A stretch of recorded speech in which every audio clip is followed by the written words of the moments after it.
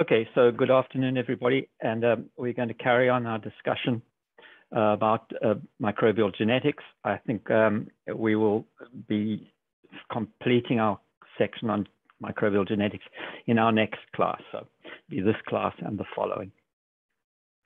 Um, so we've discussed at length the structure of DNA, uh, how DNA is replicated, and then how the contents of the gene, the recipe or the message in, in the gene is transcribed into messenger RNA and how that messenger RNA is then translated by the cell. And we saw that that ended up with the production of protein. So we need to spend a little bit of time talking about how, in fact, the cell exerts control over that process of transcription. And the reason for that is that there are various kinds of genes in, uh, in the cell. There are a set of genes which we call constitutive genes, which are continually expressed at a fixed rate. There's no uh, effective other any control over them needed. Their products are used continuously and are used up, so they're pro the products of the gene, the translation products are continually required. And those we refer to the constitutive genes. You'll often see them referred to also as the household gene, uh, housekeeping genes. So um, there's things, for example, like respiratory enzymes, those sorts of things which are continually required. But other genes are only expressed when they are needed. And this um, is for two reasons. The first of all is to save energy. So the cell doesn't waste energy producing product it doesn't need, energy and resources. But uh, the second thing is that uh, many of these enzymes are powerful and um, you only want them to be present in the cell when they're when the required substrates are present for that enzyme to operate on. You don't want them at continually at a high level when there is no there's no substrate from them. They may do all sorts of other damage if you do. So these genes that are uh, expressed only when they are needed. We're going to see that there are three, three major ways we're going to discuss of how these genes are actually controlled. The first are called the inducible genes. Um, these are genes which are normally off and they get switched on so they are induced and they're induced by various, can be induced by various things, but fundamentally they are switched on when their substrates are present. The other uh, set of genes are called the repressible genes. And um, these are genes which do run, which are run the whole time, excepting that they get switched off in one way or another and uh, your mind should immediately start thinking back to where we talked about feedback inhibition, for example. That would be a typical example of uh, genes which were repressed. The third we're going to talk about is called catabolite, positive induction, and this is a, a separate issue, um, but another way to control genes. So let's just think about the, those terms um, uh, if we talk about repression, what we are talking about is the actual inhibition of gene expression. And that is going to decrease the enzyme synthesis. That is, this repression is mediated by repressors, which are proteins. But they are, in, they are proteins of, which are of interesting structure. They are, in fact, enzymes and they are allosteric enzymes. So we, and we need to pay careful attention to what binds to the allosteric site and, and the, results of that binding. Now, the default um, position for a repressible gene is it's usually on. It runs the whole time until it is switched off. So that's repressible genes. An inducible gene, induction switches on a gene which is normally off. And it is that switching on is in, initiated by an inducer. Now, the inducer, uh, there are many inducers. They're not necessarily proteins, some of them are proteins, but there are other things which will act as inducers, and we'll see one good example at least. So the default position of an inducible gene is that it is off all the time. So I need to spend a little a bit of time uh, just describing to you a peculiarity of the way in which genes are organized in the prokaryotes. This does not apply to the eukaryotes. In the prokaryotes, many of the genes which are linked to one another in function in a metabolic pathway or something like that, they are related to one another in function. They are structured together in the genome. So pay careful attention to this structure because it's really important. And we, we need to have it in mind as we, uh, as we discuss the next couple of topics. Okay, so here are a set of genes. These are the, the genes which, these are called the structural genes, and they are the genes which are going to produce some effect in the cell, participate in a met in metabolic pathway or whatever. They are linked in function. And in the prokaryote, they are very often linked in position on the genome.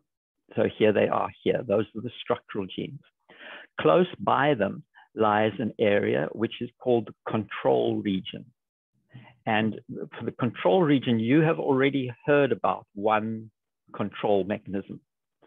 And that is that there is a promoter. This, these are the genes here. But upstream of the genes lies this promoter region. And this is where the RNA polymerase that is going to do the transcription, this is where the RNA polymerase first binds. And there are various control mechanisms that bind the, the uh, polymerase to the DNA tightly and allow it to proceed to do the transcription. But in this organization structure, there is an intervening area here, and it's called the operator. And this is the switch.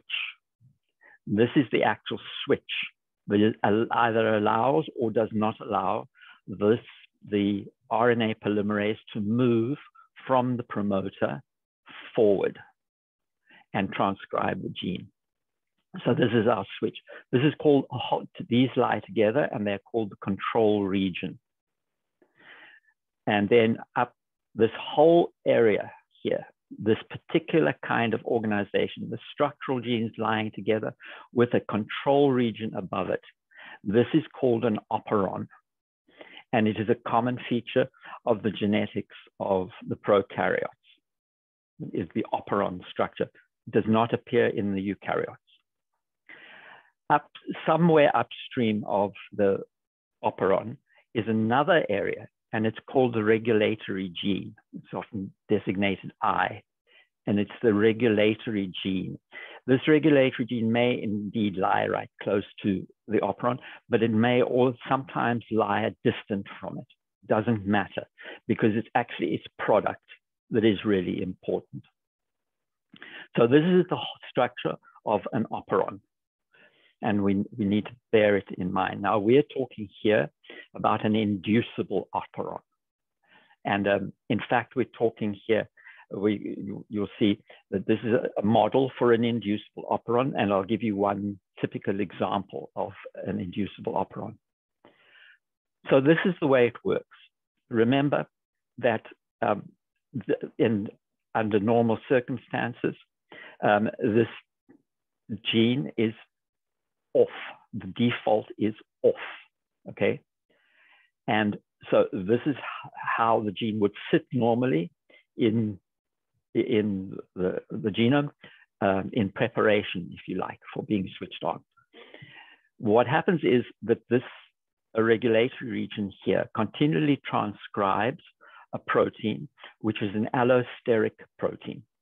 Here it is here and it's a repressor. It's called the repressor protein. And it binds here. So it's binding in there. Its active site binds it there to that, to that control region.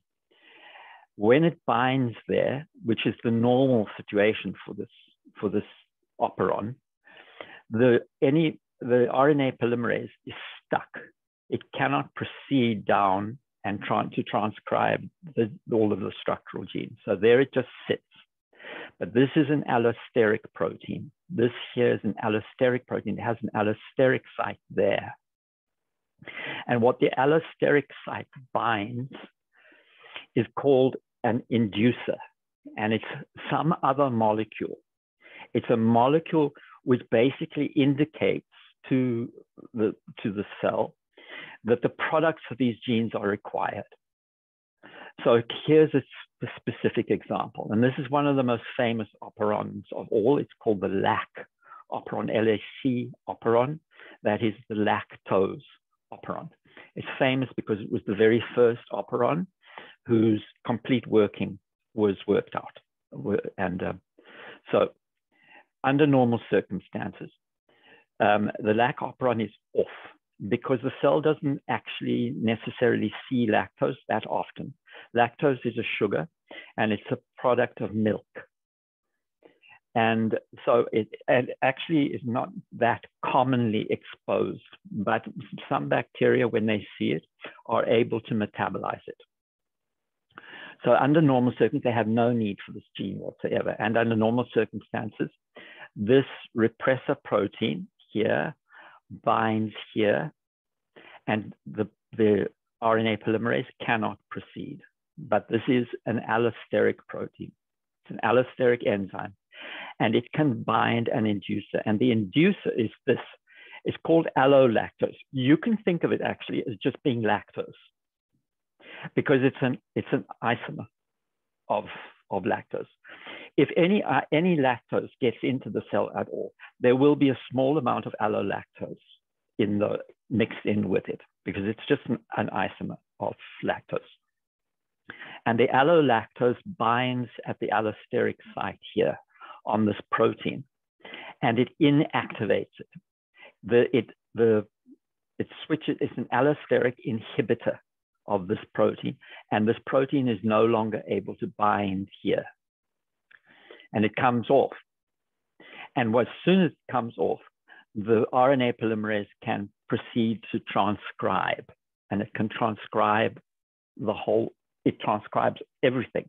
The promoter region operates for all of these genes. So it runs through, transcribes them all, and produces the, ultimately produces the products. There are three major products from this operon. And um, the first one to pay attention to is actually this one, permease.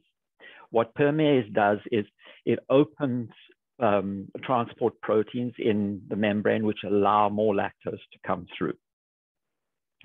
The second thing is um, this here, this is beta galactosidase. This is a very important enzyme to, to remember. Beta galactosidase is the enzyme which digests lactose. And it's very often the enzyme that we test for if we want to test for the ability to metabolize lactose. So beta galactosidase.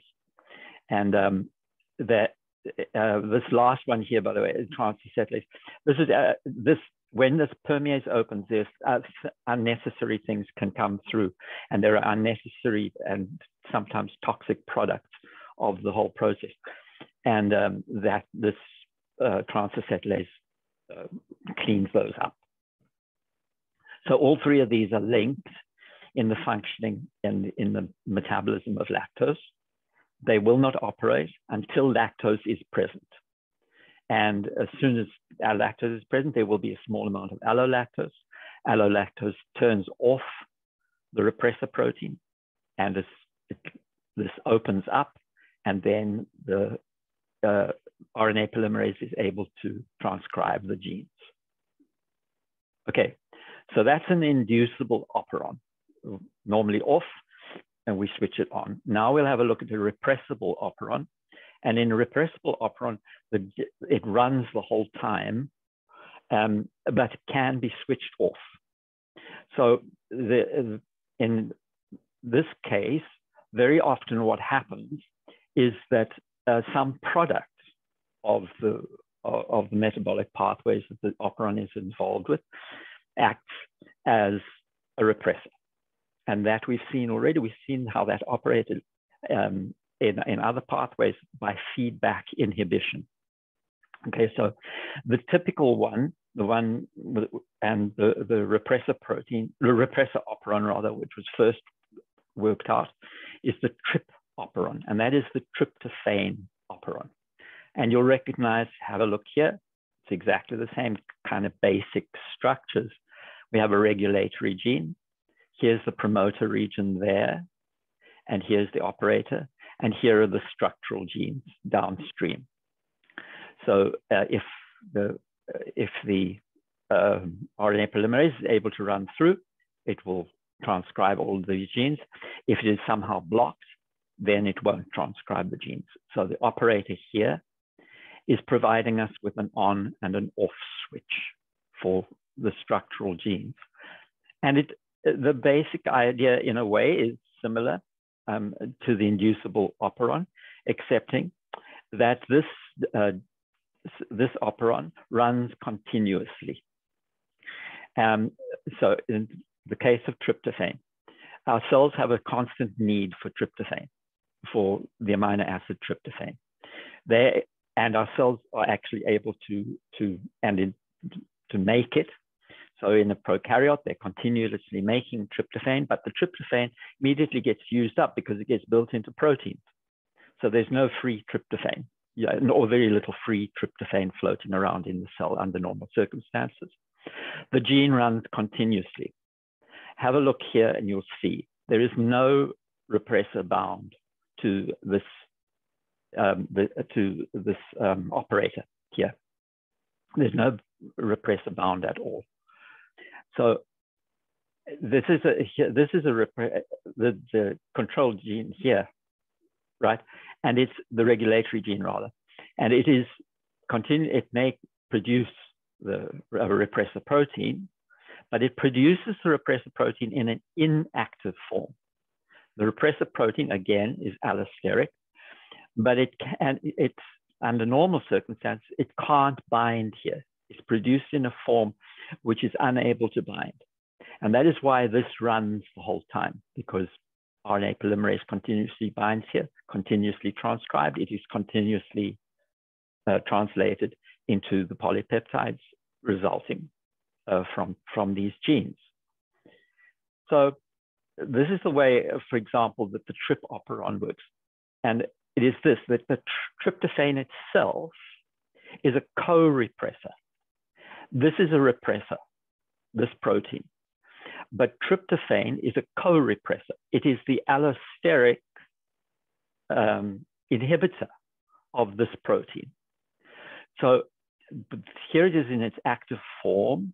And when and where if it was bound here, there, it would be able to stop.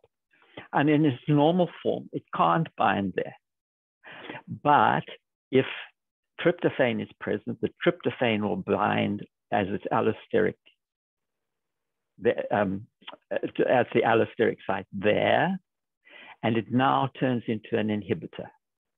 And it binds here at the operator site, and it stops the transcription of the genes, which would result in the formation of tryptophan.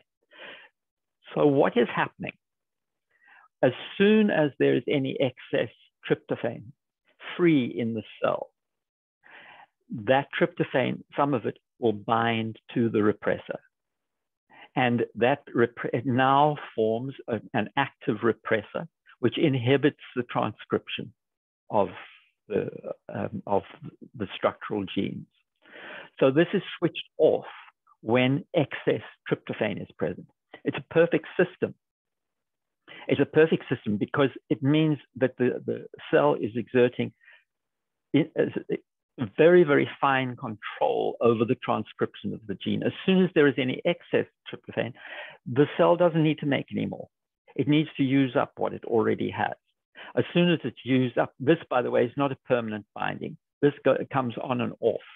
So the, as soon as the, the, cell has used up most of its tryptophan, and we've got repressor proteins that are, are unable to bind tryptophan because they, there's no tryptophan, they come off here. They are only able to bind here when they are have their co-repressor present. So that, and that is a typical uh, repression of a, a, gene. Now there's a third way. I just want to point something out to you. Um, this uh, promoter region here um, is shown here just in a simple form. But in fact, the promoter regions may in fact be quite complicated. And there may be different control mechanisms present in the sequence of the promoter region uh, itself. So I, I, mentioned that because our third way of uh, regulating uh, gene transcription is called positive regulation, also catabolite repression. And this is a, um, a system which guides a cell towards uh, metabolizing particular substrates. And it will shut down systems when one when a substrate is absent and push a, a cell towards um, catabolizing uh, what is actually present in, in the cell. So for example, when a cell begins to run out of glucose, as, as it uses up all of its glucose, this substance here, which we've heard about before, is called cyclic AMP. It was one of our second messengers um, in, in cell communication. Cyclic AMP begins to increase in concentration as a cell runs out of glucose. And it's a very useful marker for the cell that glucose levels are becoming low. And here's the way it works. This, the cell continuously produces this protein here. It's called catabolite, catabolic activator protein, or CAP, cat, catabolic activator protein. It's continually produced, but again, it's an allosteric protein. It's an allosteric enzyme in actual fact, and it has an allosteric site. Under normal circumstances, this uh, inactive cap can't do anything. All right, it, it just it, just exists in this it, at a certain level in this in the cell. Um, but as uh, glucose begins to be used up, so this the levels of of cyclic AMP begin to increase, and they can bind here at this allosteric site. And once that happens, this cap protein binds at a portion of the promoter and it also binds to the RNA polymerase. And it actually activates the RNA polymerase and it allows the RNA polymerase to move to go through the, the whole operon system and then transcribe the, the lac genes that we saw before. So it's an additional switch on the lac operon. Okay, the lac operon is not going to, will not operate as long as glucose is in high levels. As we described it before, we only described it, the, the lac operon, as operating where abundant lactose was present and nothing else. But in fact, lactose may be present in the presence of more suitable substrates like glucose. And in that case, what is happening is the cell is making a choice in a way, okay? Because if, if glucose is present in higher levels, then the, this is not going to operate. So have a look here. If they have both glucose and lactose present, the cap is going to remain inactive. And the cap is going to remain inactive. And the RNA polymerase, in fact, is not even able to bind here at the promoter. And so no transcription is, is, going, to, is going to take place of the lac operon. All of the, the glucose stuff is still going on. So this is only relating to the lac portion of, of the equation. As glucose is used up and the, the glucose stores decrease, cyclic AMP begins to increase, binds to the inactive uh, cap, activates it, and allows that it, it allows the binding of the RNA polymerase to the promoter and allows promotion, allows transcription to take place of the whole gene. In the presence of glucose, it is switched, the lac operon is switched off. In the absence of glucose, it begins to operate in this. So this is positive, called positive regulation of the lac operon. Positive regulation because it promotes it in the presence of lac and the absence of glucose. So you can actually do, you can actually um, do look at this experimentally. Um, if we grow E. coli, for example, uh, in the presence of glucose, and then we grow it in the presence of lactose, and we look at its growth rate. We see that it grows, it grows very well on glucose, and it grows very well on lactose as well, but not as well as it does on glucose. So glucose is a preferred substrate um, over lactose. They can still use lactose if that's all that is, that is present. What about if we grow them in a medium which has both?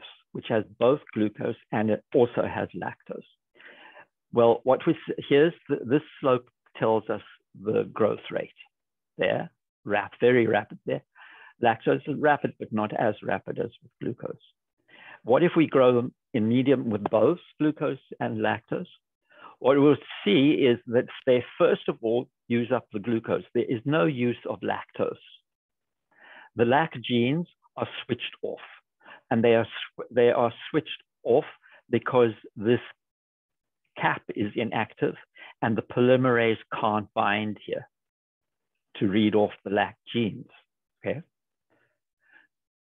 Once the glucose has been all been used up, what we'd see is a little lag period. And it is during this lag period here, it's during that lag period here that the cyclic AMP is building up in concentration. And as it builds up, it begins to bind to the inactive cap and activates it. And the cap is able to bind to the promoter and bring in the RNA polymerase and allow the RNA polymerase to begin reading off the LAC genes, the beta galactosidase especially. And here it goes here. So we have a little lag period building up the cyclic AMP activating cap. Then once it gets going, there it goes there using the lactose and look at the growth rate. The growth rate is exactly the same. There's a characteristic growth rate when the cells are on lactose. So it's a very neat system. We look first, let's go just summarize what we've done. We look first at the operon, the structures of the operon. That is the most important thing to get into your mind. Okay, is the structure of the operon. And realize that what we're doing is we're looking at this region here, aptly called the control region, and we're seeing different ways in which that control region operates. The first is we said we're going to look at an inducible operon. This is the default is off. And then um, in uh, the normal circumstances, it is switched off because there is a repressor protein that binds here and stops this from moving. In the presence of, a, of an inducer, that protein is, this protein is inactivated. This site is freed and the RNA polymerase can proceed. So that's the inducible. The repressible operon is continuously running. It's producing something which is which probably a, con, constitutive genes.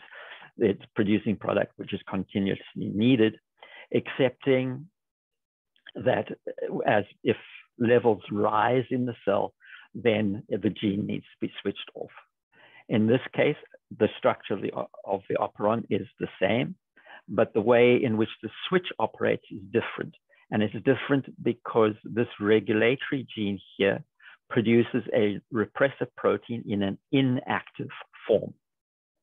And that inactive repressor is only activated by some other product. In the case that we spoke of, the tryptophan, the trip operon, It is activated by, by the presence of the of tryptophan.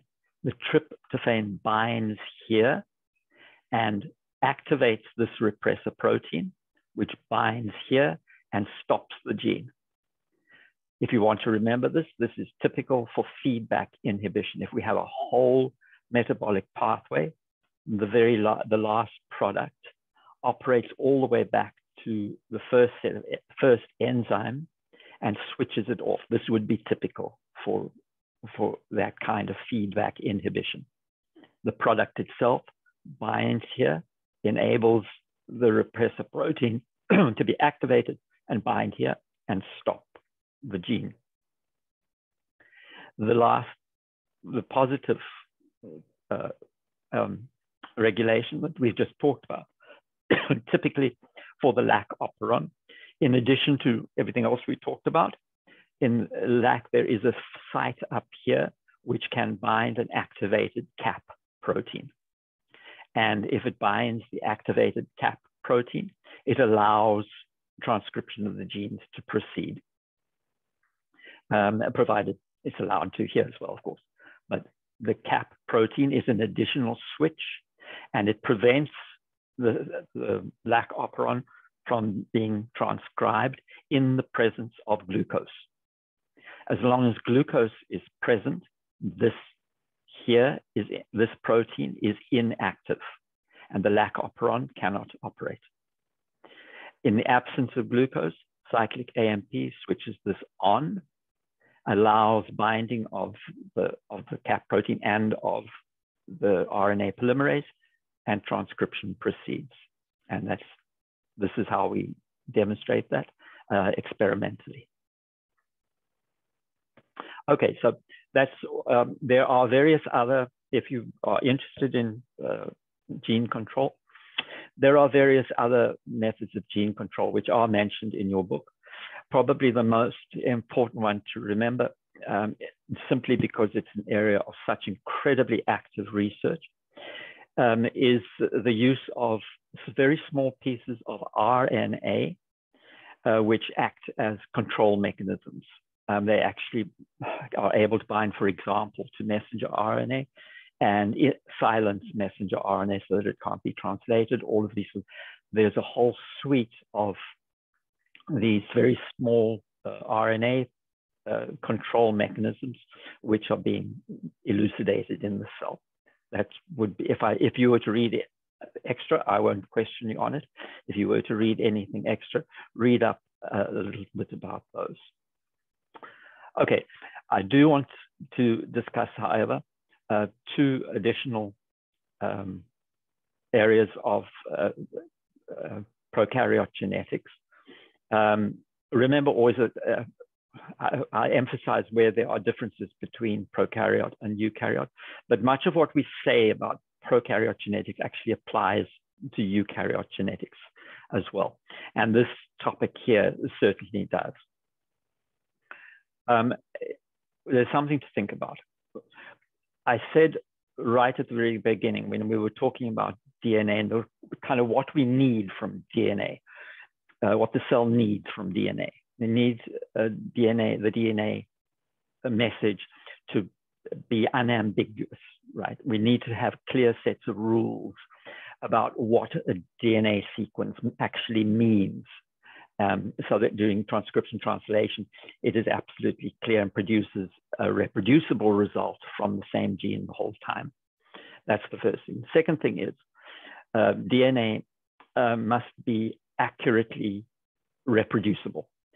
Every time a cell divides, and also when a, uh, eukaryote cells reproduce during sexual reproduction as well, at least once we go doing these processes, we're going to have to replicate the DNA completely so that complete copies of the DNA are made in the cell. In the processes in prokaryotes, this is the most important system of reproduction, is a simple binary fission. Every time the cell divides, all of the DNA must divide and it must divide rapidly and it must divide accurately. It's divide rapidly because many of the uh, gene functions have to stop while replication is going on. It must re replicate very accurately because each daughter cell ideally should receive this, exactly the same genetic information. And those are processes of reproduction in prokaryotes, but also of growth in eukaryotes and of development. Those are the processes of mitosis. So the DNA always has to be accurately reproduced. The DNA must also uh, be protected. Um, there must be uh, mechanisms to ensure that DNA doesn't spontaneously change its sequence. But even a small change in sequence can result in enormous changes in the structure of the proteins which are produced from that particular gene. So any such change, any permanent change in the base sequence of DNA, we refer to as a mutation. And in fact, they are relative, believed not relatively common. Um, they certainly occur relatively commonly in the cell. I just need to just check one thing. Excuse me, please. Uh, uh, sorry, I got a beep in my ear and I thought everything had shut down. So I just had to check. Okay, so uh, mutations do actually occur relatively frequently, especially during these very, very complicated processes uh, such as DNA replication. But the cell possesses mechanisms for tracking those mutations and as far as possible repairing them so that it's they do not actually become a part of the permanent record.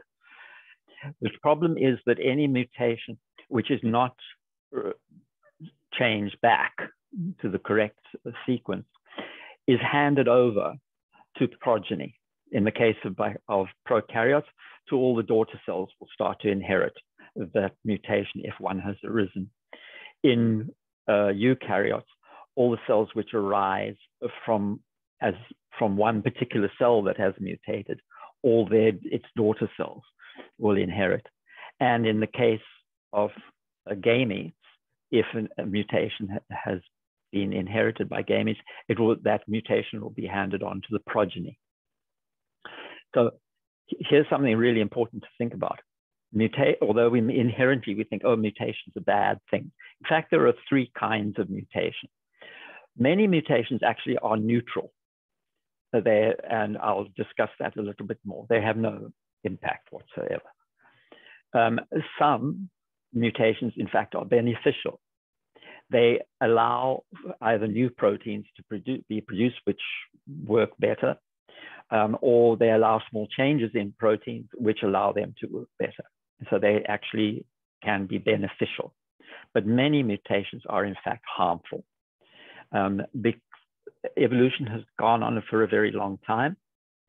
And uh, most um, proteins are operating at optimal efficiency and any change to uh, their structure due to changes in DNA sequence actually are, will be harmful. So we instinctively sort of think of mutations, oh, it must be bad. It's not. It can be neutral, no effect, or it can be beneficial to, to the cell. Um, but uh, the thing to think about is this. Life itself, uh, uh life on Earth rose in the prokaryotes. Prokaryote cells were the original cell. And if mutation never occurred, and if mutation was never passed on to progeny, and if the function of proteins could never be improved, we would all still be bacteria swimming in the ocean. All of evolution from those first primordial cells, all of evolution has taken place because mutation takes place, because DNA is not immutable. And these, the beneficial mutations, are favored. Any organism which carries a mutation which is beneficial will operate it slightly better than its siblings. And that, that slight advantage confers on the that organism the ability to reproduce more. And because it's re reproducing more, it's producing more offspring, and its offspring are carrying this beneficial mutation. And they begin to form a population which outcompetes its fellows.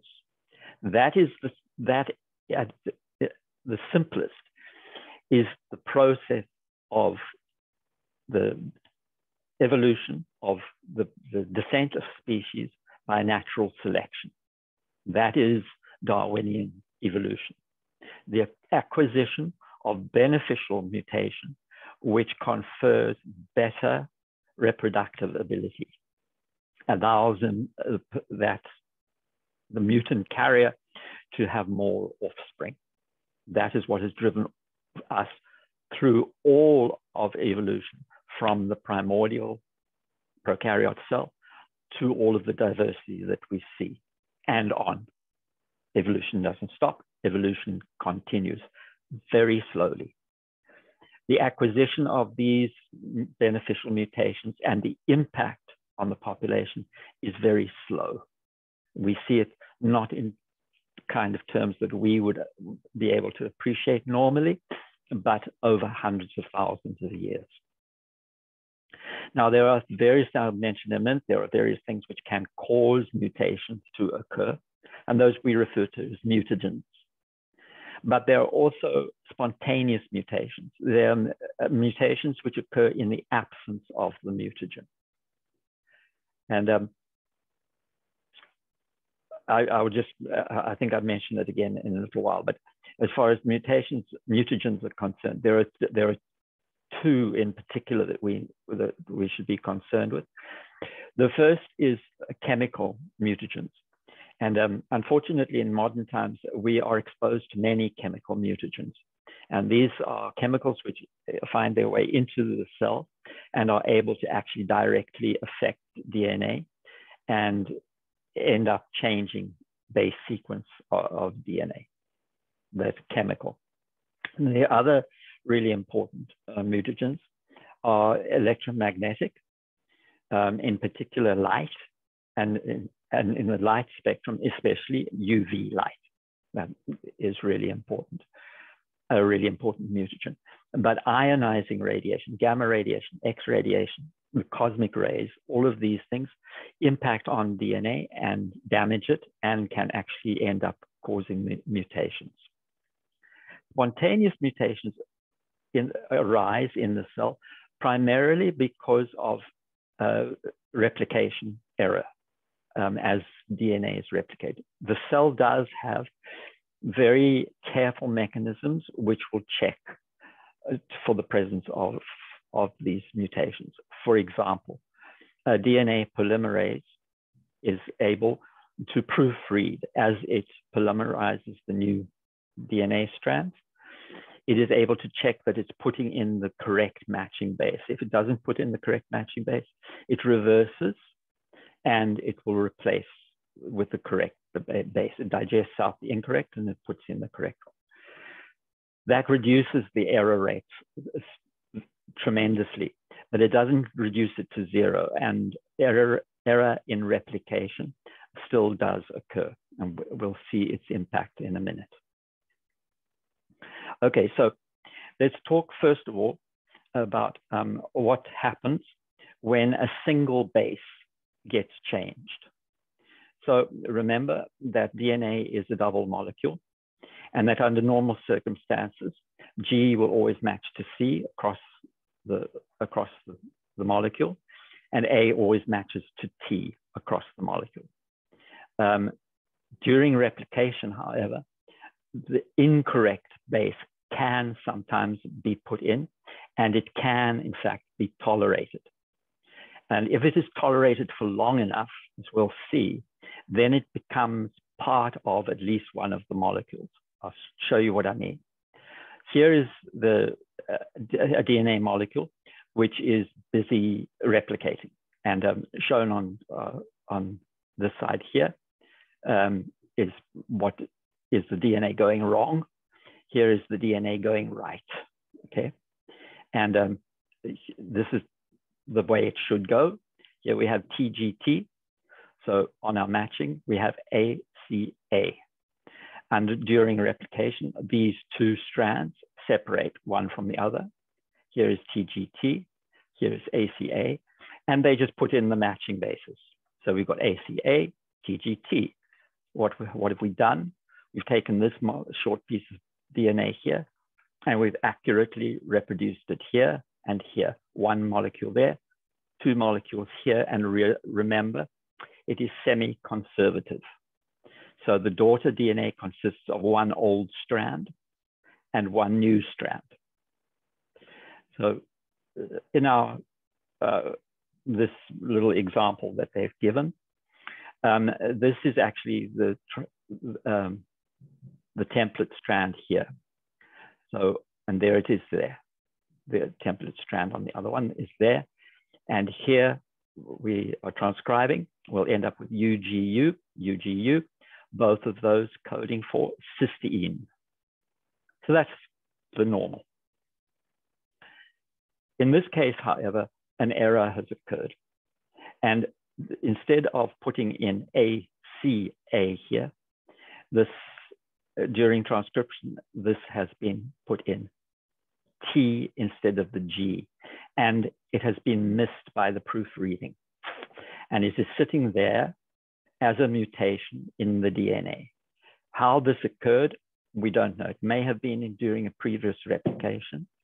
It could have been because of damage caused to the DNA, which was incorrectly repaired. But however it occurred, we have a point mutation there.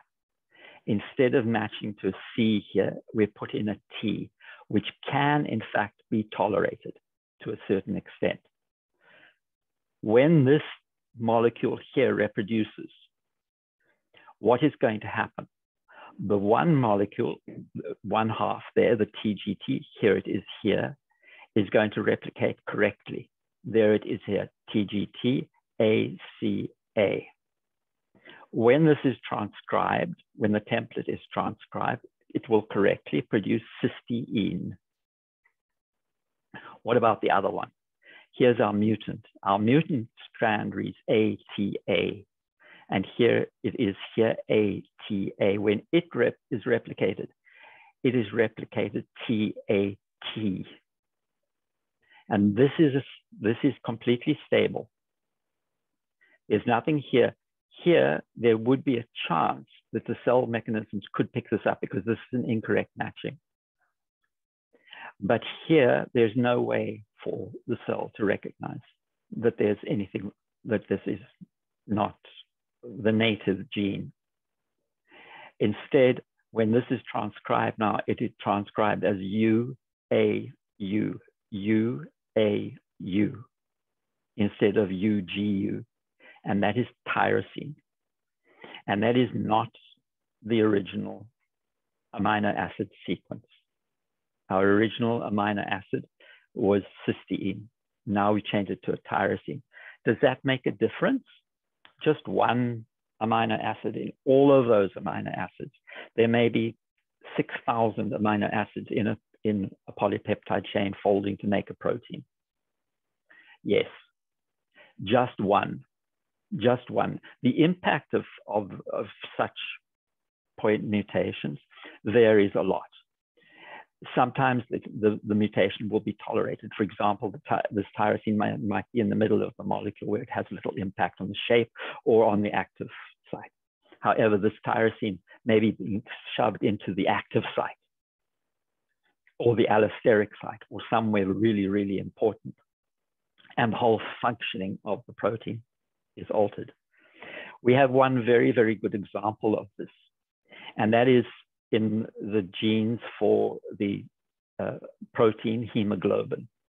And hemoglobin is actually an enzyme, um, and it's, uh, it depends on being able to change shape in order to pick up oxygen and to spit the oxygen out where it's needed.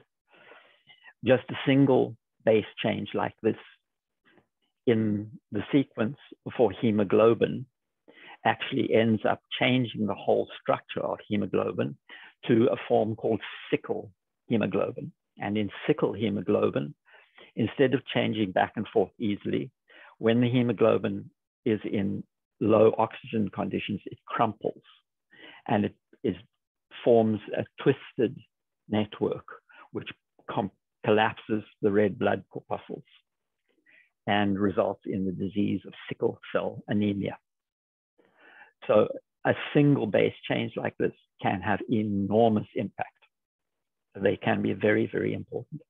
So this is a base substitution, point mutation, just one base changing and resulting in a change of the amino acid that results during translation. Oh, sorry. All right, so here's another kind of point mutation. Um, and uh, this one, have a look here. Um, we, this is a little amino acid sequence. Here's the template strand here. Um, and here's the template strand here. And we're following this sequence here. And have a look at this. Uh, you see this triplet, AAA there, AAA. The C right after has been mutated to a T. So from cytosine to thymine. And uh, this is template strand. We won't worry about how this has been preserved, et cetera, et cetera. We're just going to assume that this has been acquired somehow or other. What is the normal? The normal is uh, these, there's AUG, you should recognize that. AUG in the mRNA, that is methionine. There's AUG, there's our start codon. There's the next one, lysine, phenylalanine, glycine, and then a stop, UAA. So we're changing this C, we're mutating this C here to a T. And what it's going to do is going to produce this, it's going to produce AUG, methionine, AAG, lysine, the same, UUU, phenylalanine. But look what happens to the next one. We go AGC, and we now produce serine there. This is a missense. This is called a missense. It's what we, we, we've just been discussing. Okay. This is a missense uh, mutation. With, this is typical for producing the wrong amino acid sequence or a, a changed amino acid sequence. There, there's the first kind. Here's another. This is called nonsense mutation. Here's our template strand. And here we go. We, again, it's the same. It's the same sequence, same template. Um, and we, so it reads methionine, lysine, phenylalanine, glycine, stop. But we're going to change this. We're going to change that T there to an A. And now look what happens. But TAC-AUG, that's our start codon. Now we've got ATC instead of TTC. TTC codes eventually for lysine. ATC is a stop. It's a stop codon. And what happens at the stop codon? Translation stops. So none of the rest of, of the gene is going to be, none of the rest of the messenger RNA is going to be translated. This is called a nonsense mutation, and it can be catastrophic because it means that, that a gene is totally disrupted. It proceeds for a little while, may start, go for, for a couple of amino acids, and then it just stops and ends long before the complete polypeptide is produced. Uh, these and nonsense mutations are very often fatal um, in a cell. Um, this is a third kind. Uh, this is a, called a frame shift mutation. And um, what we're going to what we're going to do is actually take out or put in, but we take out first of all one of these. Instead of substituting at, at one point here, we're actually going to remove um, a, a, base. And um, so again, it's our same. This is our template strand, TAC, et cetera, et cetera. Here's our start codon, AUG. This is the mRNA. We've got methionine, lysine, phenylalanine, glycine, and then a stop. Okay, if I take this out here, if I on the template strand, for whatever reason, if I lose one of these bases, what is going to happen? Well, everything's going to read the same up till that point. Okay, we're going to go TAC, TTC. What we had before was AAA. One of the A's is gone. So now our DNA triplet reads AAC. It produces a completely new codon, UUG, instead of UUU, which we had before, for phenylalanine. Now you've got UUG that is, produces leucine. Not only that, look what happens to all of the triplets below that. They've all got shifted by one base. They, this is a, we end up with a completely new DNA sequence because the DNA is read in triplets. If we take out one or two, we're going, we're going to shift everything by one or two. If we take out three, we shift everything by one triplet. So these frame shift um, mutations are very, very damaging, extremely damaging, because they produce an entirely new uh, messenger RNA codon sequence, and hence an entirely new amino acid sequence. Again, if I take out one or I take out two, I'm going to have to shift everything below it, one or two. If I take out an entire triplet, I shift everything by one triplet. I would still have the same sequence, but missing one amino acid. Take out one or two, I end up with a completely new amino acid sequence.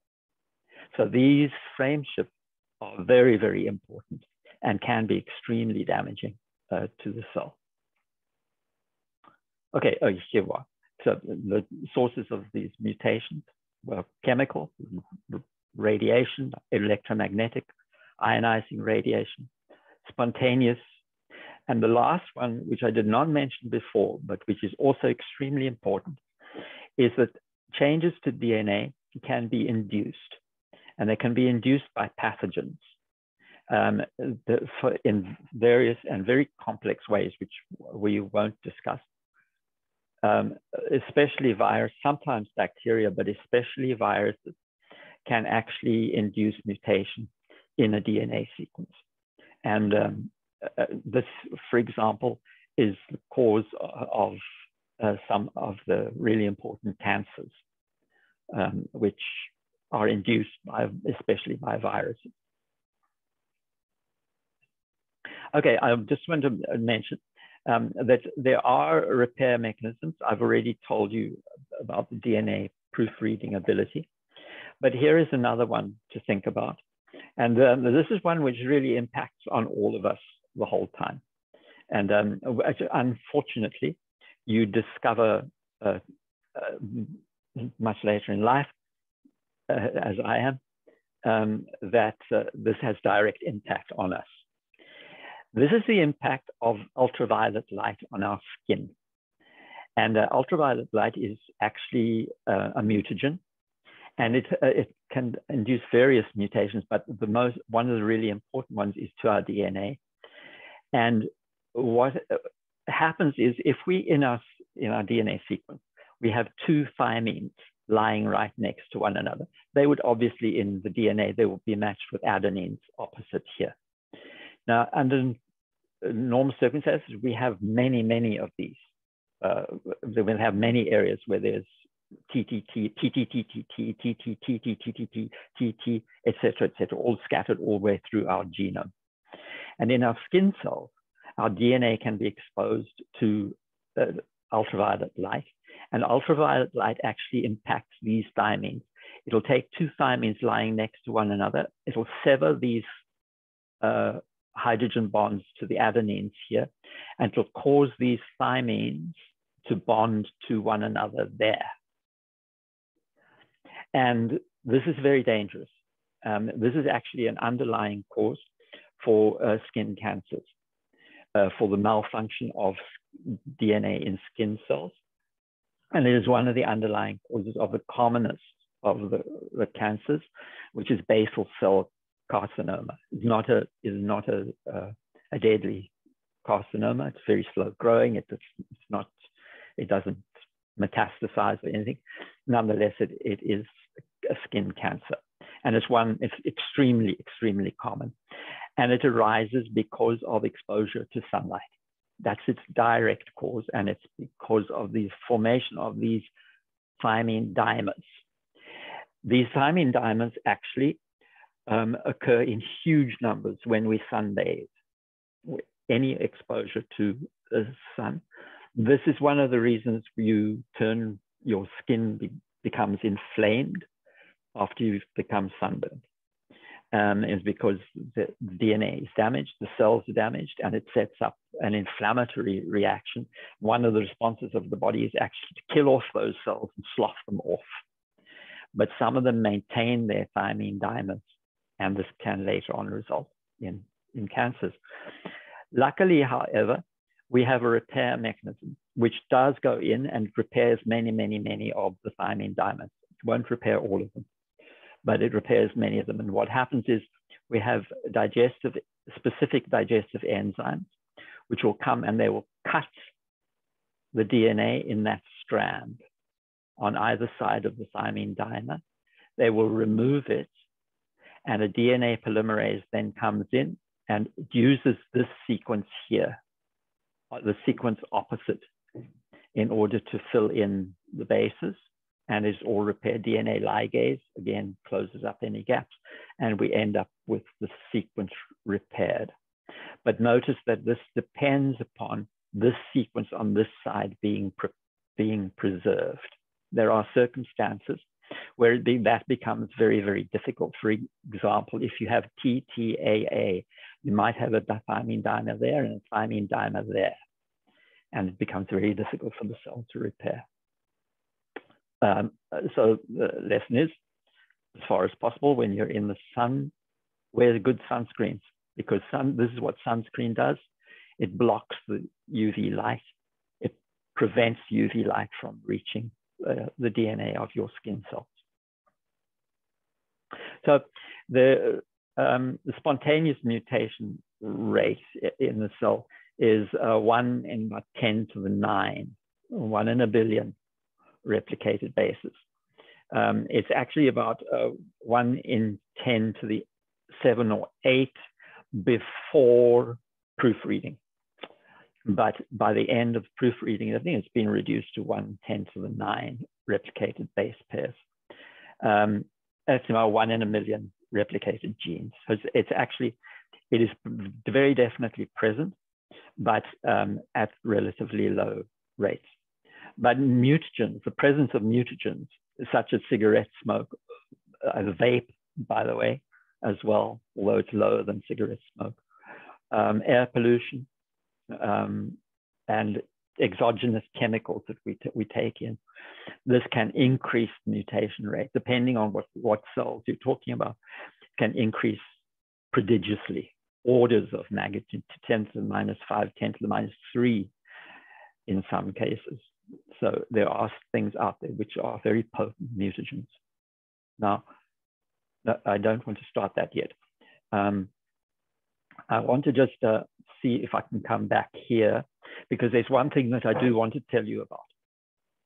Um, you will remember that um, the uh, in the table of codons. There were uh, many of the amino acids which had more than one uh, codon. And um, some of them had really, really had a lot. And um, I'm just going to take this as an example. Um, this is uh, phenylalanine, AAA. And if I remember rightly, there are other phenylalanine codons which read AAU. Still put in, uh, the cell doesn't care. It doesn't care which codon it sees, AAA or AAU. It's going to put in phenylalanine. In many cases, mutations actually take place in that third base. And very often, if a mutation takes place in that third base, it has no impact on the cell whatsoever. And that is called a neutral or silent mutation. It has because it has no impact. So that is the, the, the last kind of mutation that we need to worry about. Um, okay, I'm actually going to stop there a little bit early today, um, but the next time um, I'm just going to I'm going to discuss uh, both plasmids, um, the last kind of genetic element that we need to think about in the prokaryotes, and then also some how natural change takes place in the genetic inheritance of prokaryotes. All right, and then I will. So I'll see you on Wednesday.